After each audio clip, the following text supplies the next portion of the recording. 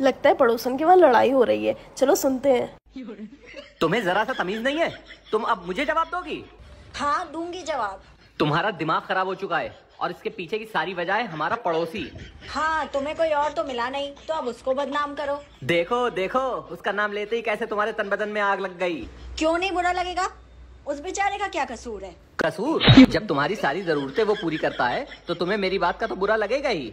कभी मोबाइल ला के देता है कभी सूट ला के देता है और अभी पिछले हफ़्ते ही उसने इतनी महँगी अंगूठी ला कर दी थी। वाह अंगूठी तुम्हें याद रही। वो तो उसने गिफ्ट दी थी। लेकिन जब तुमने अपना नंबर मेरा बताकर उसे रिचार्ज करा लिया था तो बड़ा अच्छा था वो। अच्छा छोड़ो। फालतू में हम लोग दूसरे की वजह से लड़ रहे हैं। आओ तुम्हें कहीं घुमाने ले चलता हूँ। अच्छा ठीक है। मैं तैयार होकर आती हूँ। अपना तो सदियों जन्मों का नाता